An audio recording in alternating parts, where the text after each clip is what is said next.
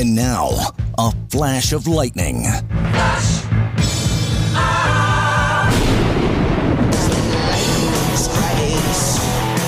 AM 680 WRKO. What's going on, everyone? Welcome to another Flash of Lightning. My name is Lightning. Let's dive right in here to this week's Flash. First up, how far would you go to save your favorite restaurant?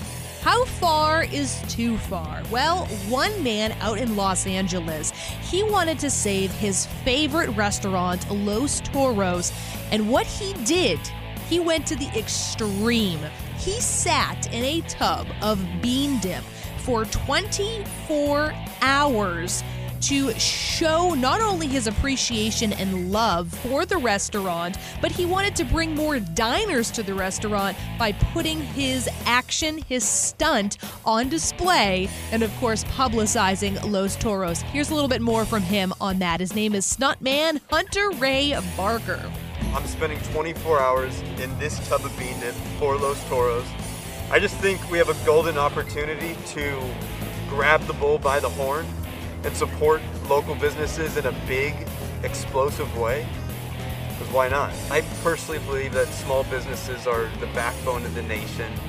I believe that um, it is our duty to support them, and I just think if we can do that in a, a fun way, and in a way that encourages other people to, um, you know, bring some excitement to the small businesses as well, I think is really, really helpful.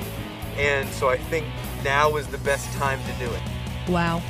That is dedication. That is real serious dedication. And for all of you wondering, like I was, about what the heck, what does he do for a bathroom break? Like what?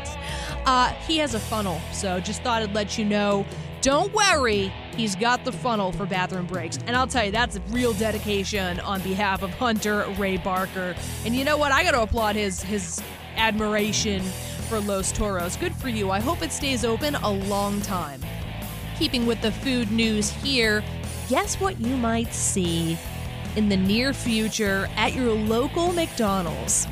AI might be greeting you next time you hit up the drive through of McDonald's. Apparently, McDonald's is testing out a new technology here where they have introduced AI to start taking drive through orders. Now, there's somewhere in Chicago, in one of the suburbs there, that they are starting to kind of test this out. They're doing a test.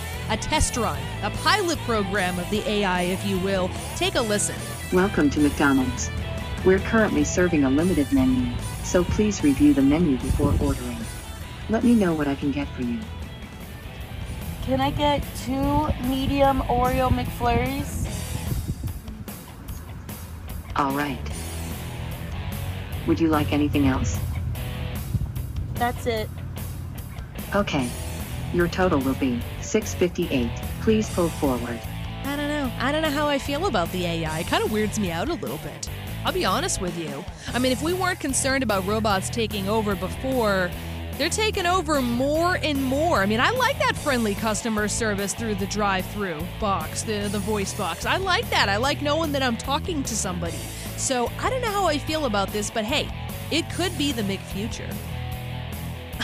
I did go there. I did go there. But hey, that's the only pun you're going to hear from me today, believe me, because, you know, I'm not the biggest fan of cheesy puns, but I had to throw that one in there. And lastly, here on today's Flash, Gatorade is making a smart patch that measures your sweat and hydration. Very interesting. This is their first ever wearable device. They're calling it the GX Sweat Patch, and they advise you to wear it on your left inner arm during a single workout. It's going to fill up with sweat as the athlete exercises. And apparently, after you finish your workout, users can scan their patch using the Gatorade app to reveal their unique sweat profile. This is supposed to analyze sweat to provide athletes with insights into their athletic performance and hydration levels. Hmm, this patch is going for $24.99. It's going to be available online and at Dick's Sporting Goods beginning Monday.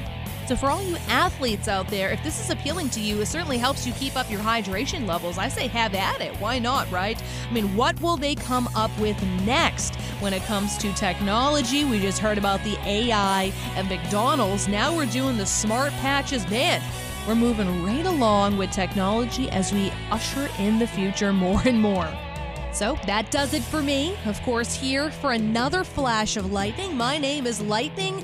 Tune in every week where I bring you just a quick flash of stories out there that you might not hear in the mainstream media coverage. Take care, everybody. Have a lovely day and rest of your week.